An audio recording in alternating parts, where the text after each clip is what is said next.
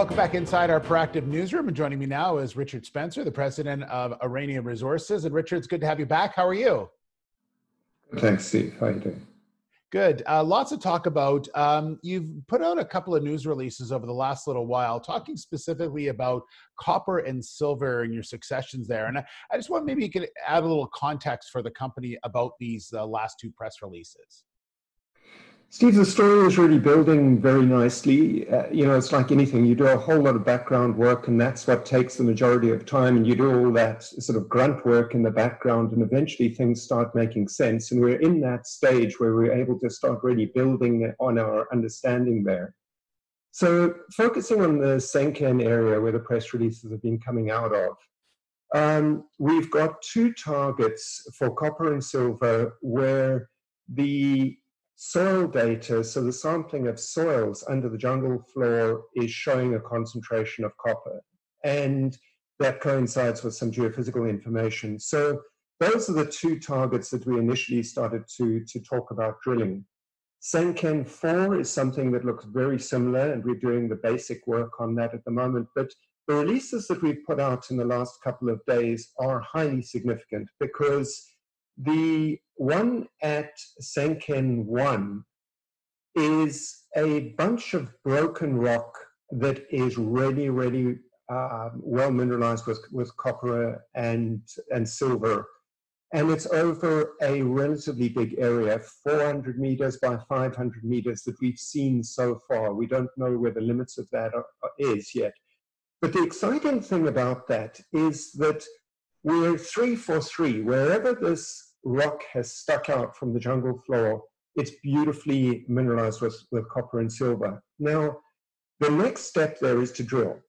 Um, those could be silly little tendrils of mineralization that mean nothing at the end of the day, or they could be three parts of a much bigger thing that is is is lying just under uh, under the soil there. And the most efficient way of seeing what that is to, is just to get in there and, and, and drill. So we've got Tsenken N2 and N3 to drill. We've got now Tsenken 1.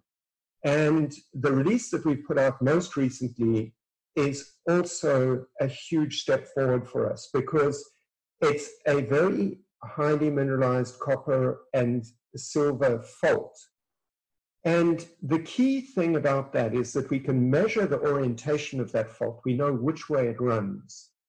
And that is the first time we've actually seen that in the field. And the mineralizing fluids that bring in the copper and silver rise up those, those faults. And they're going to uh, preferentially mineralize a band that's parallel to the fault. And so basically what we're seeing, we're expecting the sedimentary hosted silver and copper to be like a bunch of fingers like, like this in plan view. And what we're starting to see is what orientation those fingers are in space, because each one would have a fault next, next to it. And you know, although we couldn't say that much in the, in the press release this morning, it is hugely significant because we know which direction to, to move in to find that the continuation of, of, of that mineralization. So We've built from the, the, the soil sampling in Tsenken N2 and N3, and now we're moving on to actual rock that's sticking out from the jungle floor, and it's got the same sort of copper and silver in it. Really, really exciting stuff. And, you know, so we've got four targets. The only way to, to advance them here to see what's under there is, is to scout drill them. Oh, it's going to be sounds very interesting. Look forward to seeing uh, the results of that of that scout drilling as well. Um, we also want to talk obviously about your gold exploration. Um, talk about silver how how silver right now is is on a tear as far as the markets are concerned. Gold's doing pretty well also. So tell me a bit about what's going on as far as the exploration drive for Aurania. Well, we are a gold company, um, and we are beavering away on on the gold and silver targets in in the background. And you know, it's a little bit like what's happened with the the copper. You do a whole bunch of uh, sort of background work, and you know, all of that is building, and then you get to a point where suddenly you start to understand what's what's going on. Uh, and we expect the same thing to happen with the with the gold silver. We're working on the Chimpia Chiria target, which is a, a 15 kilometer band of silver dominated mineralization at, at surface, but we believe that the gold is underlying that.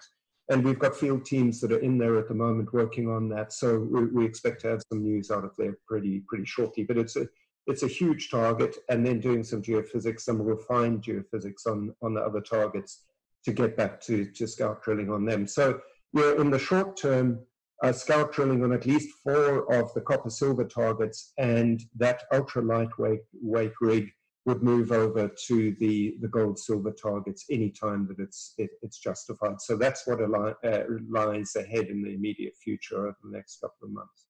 Well, it sounds like it's going to be super busy for sure. Uh, Richard, thanks so much for updating us on what's going on, and I know we'll check back in with you real soon. Thanks very much, Steve. All right, Richard Spencer, the president of Aurania Resources you